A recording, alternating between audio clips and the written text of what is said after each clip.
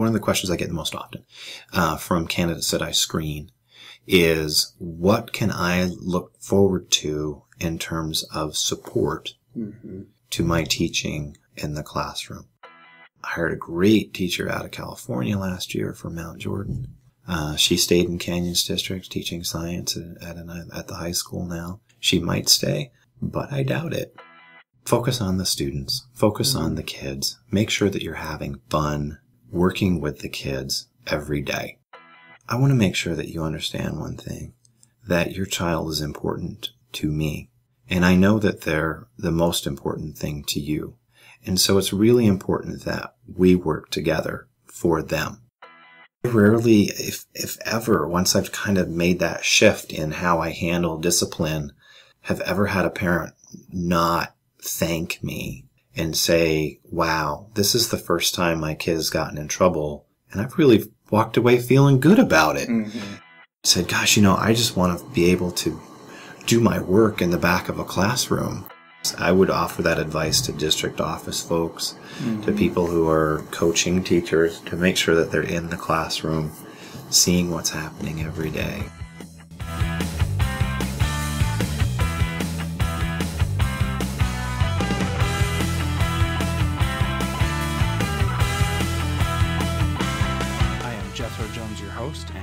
Welcome to the Transformative Principal.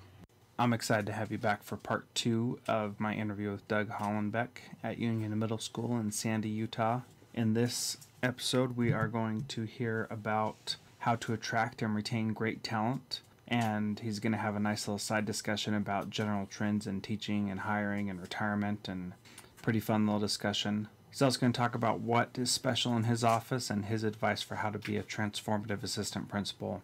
I hope you enjoy it. Like to welcome a new sponsor to the podcast this week. It is creativesforeducation.com. Have you ever noticed that teachers are really great at teaching our students, but don't have the time or the training to create beautiful things? Creativesforeducation.com does that for you. As an educator, you can sign up for a free account, request the designer create a project for you, give them some guidelines and tips, and then within about a week, they'll get something back to you that looks amazing. Go to creativesforeducation.com, click on the design requests, and you'll be able to look at some of the things that have already been done. Then sign up for a free account and start making beautiful things for your students. That's creativesforeducation.com or creatives, the number four, edu.com. I'll be honest with you, Jethro. I'm very worried about the state of, of teaching in Utah in terms of um, we're in a teacher shortage. We're going to be in a major teacher shortage here. Um, it's being masked by the economy mm-hmm. here. Uh, Utah's economy is better than other states, but we have been able to hire some incredible talent. I have Skyped on the phone with people all over the country looking to move here because there's jobs here. Right. Um, and I'm very fearful because I lived through times when I first started uh, as an assistant trying to hire people back in, in the mid 2000s when the market was, I mean, you could not find a teacher. And if you had a teacher on uh, that was on your list that you wanted to hire, they had three or four right. offers on the table. And so um, it is going to be a very precarious thing right. down the road. I had a conversation with one of our board members just a few weeks ago who's been attending some committee meetings through the state office of ed and they're talking about how do we bolster retention programs how do we support our teachers to be in the classroom and you know we, we are headed for a shortage so it's it's not going on falling on deaf ears but right. um, quite honestly I've said this before. We've got the best teacher prep programs that Wyoming and Nevada can buy. Right. Because unfortunately, we keep losing some great talent to mm. neighboring states, and it's just a dollars and cents. It comes down to, hey, how am I going to feed my family? Right. And um, it's an unfortunate thing, but it is something that we face in Utah. Yeah. So, so, what we're going to have to start being much more cognizant of is how do we attract talent to our schools mm-hmm. when there's no financial differentiation, there's no, you know, reimbursing of um, student loans. I mean, there's for Title One, so we have that advantage. Um, but it's also a much harder school how how do you think we should attract that talent to our school? What can we do as schools to to get people to want to be at our schools? That's a good question, uh, and I would answer it this way. Um, one of the most often, uh, one of the questions I get the most often uh, from candidates that I screen is, "What can I look forward to in terms of support mm-hmm. to my teaching in the classroom?" And that gives me the opportunity to talk about uh, the EPL coaches that we have, mm-hmm. um, which the excellent, which provide excellent professional development. It gives me the opportunity to talk about the summer professional development, the fact that they will have uh, mentor teachers in the classroom, or you know, available to them. Uh, the administrative staff would be available. Um, you know, we talk about those resources and you can see candidates get very excited about about what we have here in canyons because of those kinds of things. Um, they want to make sure that they have that support. And i think that's probably the number one thing that we can do to retain those those new teachers mm-hmm. is make sure that they have that support in the classroom. I mean statistically 50% of teacher graduates never go into the profession of the 50% that do 50% of those are gone within the first five years. So if you're only putting one out of four teachers out of prep programs into classrooms mm-hmm. for a career, you're going to end up with ultimately a, a, problem, a staffing problem, a human right. resource problem in the end. It's just, um, I was very disappointed in 2011 when they created tier two retirement mm-hmm. in the state of Utah. I don't think that that's going to help with retention and longevity. Um, as disappointed. That's just not the move you want to do. And I understand it's an economic. Right. We want to keep that funded. We want to make sure that it's there and those kinds of things. But I think that that was a move that hopefully they'll they'll legislate back out of it because I think uh, that's going to hurt Utah in the mm-hmm. long run. Other states have moved to it, and I get that. But uh, when we look at what we're asking teachers to do in Utah um, at a tier two, 35 years for retirement, um, with a number of class, you know, the class sizes that we're asking them to work with. Mm-hmm. Um, we are going to burn teachers out left and right. We're not yeah. going to get any of them to, to that point and they're just going to leave. Yeah. And it's not solving our problems. Yeah. At a certain point, it becomes you might as well stay in a district or in a state because you put in so many years. Mm-hmm. And with 35 years, then that makes it all bets are off. Right. You know, I can go have another full career in another state mm-hmm. instead of sticking around here to try to meet that that end goal that to a brand new teacher, 35 years is a long time away. Yeah. And most of them are not thinking about that. Nope. And and so they may they may take a job to have one, but when they're in it 5 years and start looking at that, they're going to say, yeah. maybe this isn't the right place for me. Yeah. And that and do you blame them? Yeah. I don't blame them at all. And, and of course that's comes back to commitment. Are they committed? And, and if they're not, I mean, we've got some great teachers, uh, right here at Union from around the country and, um, a couple ladies from Michigan, fantastic teachers. Mm-hmm why are they here? They're here because there's jobs here. You know, the Midwest right. and East Coast, there's just they, there's no jobs, right. and um, I would hate to lose them. But I also, again, getting to know your teachers, I know that their families are back there. They're missing their families, uh, and probably if given the right opportunity, they're going to bail mm-hmm. and they're going to go back. Um, I hired a great teacher out of California last year from Mount Jordan uh, she stayed in Canyons District teaching science at, at, an, at, the high school now. She might stay, but I doubt it. Mm-hmm. I would doubt it. I would think she probably would go back to California. And, you know, so there's just three instances that I've come across in the last two years of teachers that would, you know, are here for, for the job. They're not mm-hmm. here for the retirement. Yep. And they'll, they'll bail. Mm-hmm. And so how do we attract, how do we keep them here? How do we right. make it so? I mean, it's, it's a great place to live. It's why I moved here but ultimately you've got to be able to provide for your family and and uh, and be real, be realistic. Yeah. Um, that was a great side discussion, by the way. Thanks for sharing your thoughts on that. I'm sure that's not what you want to put in this blog, but no, that's fine. That's great. I think that's going to spark some good discussion. It's it's a very real issue that we got to be aware of. So yeah. Um. So another question is, what is uh what is advice you would give to an assistant principal today to that they can start doing today to help them become a transformative assistant principal? Um, you know, it's been said that if you if you love what you do, you never work a day in your life. Uh, I would say to any assistant principal, if if they're recently out of the classroom and they're they're in this job and they're um, trying to figure out what what should I focus on, focus on the students, focus on the kids. Make sure that you're having fun working with the kids every day because it's it's very easy the assistant principal, of course, we deal with a lot of discipline. We deal with those kinds of things, part of the job, and and, and I'm happy to do that job.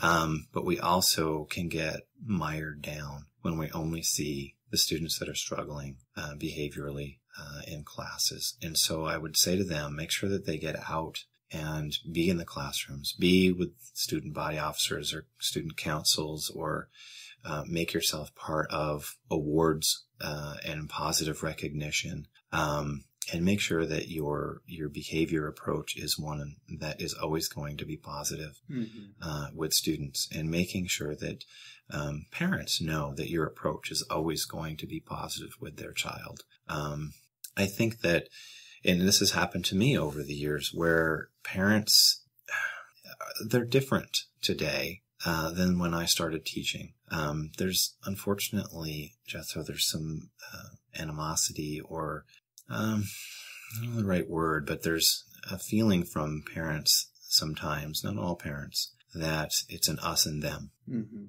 And uh, I've faced this in, in conversations, and I've had to stop uh, conversations and say, wait a minute, I want to make sure that you understand one thing that your child is important to me. And I know that they're the most important thing to you. And so it's really important that we work together for them.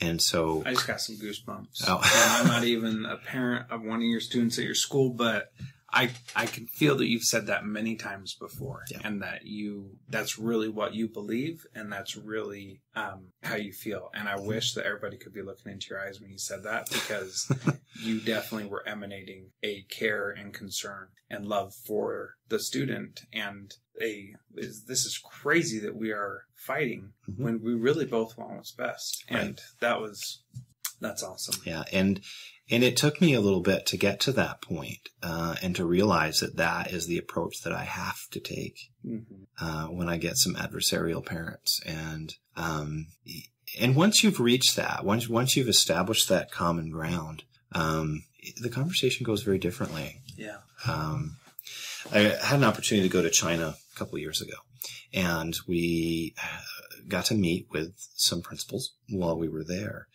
And one of the principals asked the group that we were with, um, you know, how how do you help students that that aren't engaged? Well, we face that problem here. Everywhere, it's universal. And so I, I, started talking about, you know, talk to me about how involved uh, your parents are and and how connected this, the parents are with the school. And for them, that was kind of an unheard of, you know, they parents in, in my opinion, from what he was saying, again, I was going through a translator, so some things get messed up, um, was that when a parent sent their child to the school, it was the school's responsibility. They took over and the parent really had nothing to say. Nothing, no input, no opinion, mm-hmm. nothing. And, and I told him, I said, uh, the, the triangle is the strongest geometric shape and so in my triangle, I have teachers, students, and parents.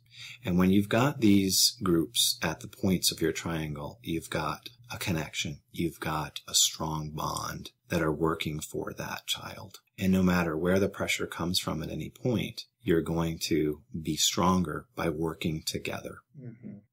And for him, it was like, wow, I never even thought about getting parents involved. And I don't know if there's a cultural connection that would prevent that from happening, but he was kind of amazed that we got our parents so involved. And so I think that um, for for a young administrator uh, just starting out, making sure that you're communicating with those parents and making sure that they know that you care about their child and trying your hardest to create that triangle mm. um, with your teachers, your parents, and your students, and being sometimes you're the you're the glue, you're the one in the middle that pulls it all together and makes sure that those joints stay connected.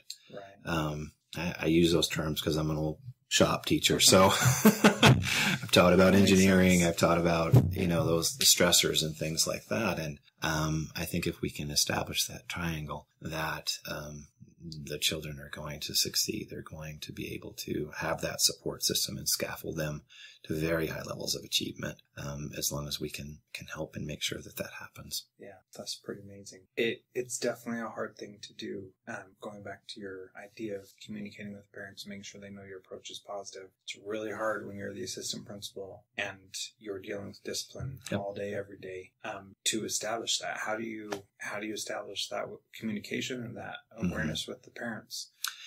You know, when I first started um, back at Elkridge, um, you know, the other system principal said, well, this is how we handle suspensions. Is how you know, and of course, uh, back then it was always exclusionary. You know, that was pretty much the whole discipline mm-hmm. system. Um, I've learned a lot over the years. Um, but one of the things that I would always do, because we, unfortunately, we still have to suspend kids and, and those kinds of things. Um, we still have to have some, some of that. I use a lot less of it today than I, than I certainly did back then. Um, but when I when I bring a student back from a discipline issue like that, and I bring their parents in, we reinstate them to school. I always use a statement similar to this, and that is, I just want you to know that we are school. We are about teaching and learning, and I want us to walk away from this meeting with learning happening, and that your child learns from this experience and learns how to conduct themselves or behave appropriately. Mm-hmm. Um, and it just gives a great opportunity to put together an improvement plan and talk about um, how this affects their life. Uh, whatever it is, if it's a fight or it's bringing something to school or uh, weapons or those kinds of things, um, making sure that the student walks out and your parents walk out feeling like they're supported in this child's learning, that this mm-hmm. experience, although it's not a pleasant one, um, that they walk away feeling good about what I've taught them, what they have learned, and, and verbalizing that in front of me, in front of their parents. Um, that's always been an important thing uh, to me to make sure that, again, it comes back to being student centered. Um, it, it is a hard job. I mean, you're, you're judge, jury, and right. executioner all at once. and uh, it's a tough position, but I and and I always make sure that I tell students, you know what, um, you made a bad choice, but that does not make you a bad kid ever. I don't want you to think that, and I don't want anybody to tell you that. I'm going to be the first one to tell you that yeah, you made a bad choice here. But that's why we're here. We're here to talk about it with you and your parents and myself. And what can you do better in the future? What can you do to change that? Mm-hmm. Uh, I talk a lot about careers with kids and what they want to do and how they want to attain that. Uh, what is what are the steps going to be? We're right in the cusp of high school here. So what is that going to look like for you? What um, how can you better position yourself uh, to be successful in high school. You know, don't be scared of it. Be excited about it. Be ready for it. Right. That's the gateway to your to your career in college. And and um, how are we going to do that? Behaving like this probably isn't going to get you there, right? And so, um, you know, I rarely, if if ever, once I've kind of made that shift in how I handle discipline, have ever had a parent not thank me and say, wow, this is the first time my kid has gotten in trouble. And I've really walked away feeling good about it. Mm-hmm. That what you did here was really important and impactful. Mm-hmm. And I found that instances of recidivism have gone way down for kids that I've worked with through this process. Um, and I've, you know, the other assistant principals that I've worked with have kind of adopted what I've done. Mm-hmm. I'm teaching my intern right now how to do that and to make sure that we have those connections because it's a great opportunity right there to connect with with those parents and make sure that again we're a school we're about teaching and learning that's what i want you to walk away with with a learning experience from this mm-hmm. That's really amazing. Um, the idea that parents would walk away saying, "My kid messed up, but I feel good about it," is is pretty powerful, yeah. and and that's awesome. Um, so the last question I always ask people is, what's something in your office? You're sparsely decorated, but what's something that you have in here that um, is meaningful to you, or that is an anchor to you, or that is something that reminds you of what you're doing? Um, is there something in here that that you, oh wow that has a special um, connection? They're they're oh man. I'm still trying to unpack, to be honest with you. I, I moved mid year and, and have been running ever since. So, uh, it is pathetically. Um, one of the things I think that I covet the most, and they're not out, but, uh, are thank you notes that I get from parents and students and mm-hmm. teachers. Um, I collect those. I, I cherish those because that makes me feel like I have really touched someone uh, at the school in a, in a positive way that they would take the time to write me a thank you note. You know, emails are, are great and we, and we pass them around like it's, you know, because it's so simple and easy. Right. But for someone to handwrite a thank you note, uh, those are precious to me. Those are really important. And I try to write them as well, mm-hmm. um, to teachers to make that connection, just to give them that little attaboy, attagirl for things that happen because I think that those are just those mementos that it's tangible. It's something you can hold on to. It's something you can look back to, yeah. um, and and say, yeah, that makes me that makes me feel good that, that I reached out and I and I and I worked with them and and they recognize that. Yeah, so. that's really great. I've I've tried to do a better job writing thank you notes as well. And Sandra Del Houlihan, who's the principal at Sandy, mm-hmm. I interviewed her, her a couple of weeks ago, and she said that um, she had a teacher or a support staff come up to her and say that she had kept every single note that Sandra had written to her. And you know, those simple things really do mean a lot. So what I tried to do this year is I tried, and I did it when I did evaluations for teachers. Mm-hmm. After I finished the observation part of the evaluation, before we had the um, professional development meeting when we got their scores back, I wrote them a thank you note, thanking mm-hmm. them for the opportunity to, to visit with them, mm-hmm. to learn how they were doing things in their classroom, and to observe them. And um, I felt really good giving those, and I had a couple teachers thank me and and really mean it.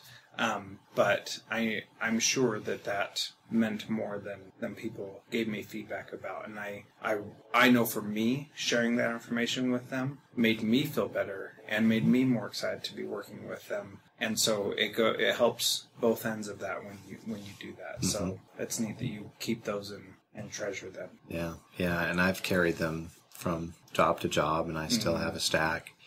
And uh, and and you know, it, you some days you get down and and you. Um, you, I, there's a couple things that I do, and that's one of the things I look at those uh, great things that people have given to me, and I and I get out into classrooms. Yeah, you know, I, I don't think we can do that enough. Mm-hmm. Uh, I worked with uh, Molly Hart for a short bit. She's the one who actually took over Mount Jordan when I I didn't take the position, and she said, "Gosh, you know, I just want to be able to do my work in the back of a classroom." Right. And she's so funny because she's looking all the time for a stand up desk that she could uh-huh. take her laptop and wheel it around. And, um, you know, it was a two story building. And who knows, maybe the new building she'll be able to do that. Right. But uh, that, that kind of inspired me to, to try to get out there more. I mean, it's, it's so hard. You know, we want to get out there. We want to do those walkthroughs. We want to give that feedback. We want to, we want to be uh, communicating with those teachers about the good things that they do. And yeah.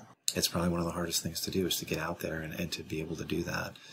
Um, we've got a lot of young teachers this year. So you know doing jpas is or official evaluations are, are, one, are one way but it's really yeah the, yeah. But to get out there and i think I mean, it's not easy to do, but but make those connections with the teachers and make sure that they know and giving those thank you notes to them uh, will make it very, very precious. So, yeah, that's uh, interesting. Well, I think our uh, time is up because you got your meeting to go to. But yeah, I sure appreciate your time. And is there anything you want to say as a sign off, or enjoy what you do and, and love the kids, laugh every day, and um, if if you're not if you're not out there with the kids every single day you're going to miss the boat. Um, I, I, worry for principals that don't get out there um, because for one reason or another. And I haven't worked with any. Mm-hmm. I've worked with some pretty amazing people, but I can see how that uh, is when you get to the principal level can remove you from from students. I would offer that advice to district office folks, mm-hmm. to people who are coaching teachers to make sure that they're in the classroom seeing what's happening every day because it's yeah. it changes. The technology changes, the methods change, the engagement strategies. Are, you do need to stay up on the latest and the greatest. And so I would encourage any administrator from vice principal all the way up to the superintendent to be in the classrooms because again, it's back to the students. Right. And keeping perspective of why we're all here yeah. is is to stay focused on the students. Yeah, absolutely. So thanks so much, Doug. Oh, Appreciate you. it. Appreciate it, Jethro.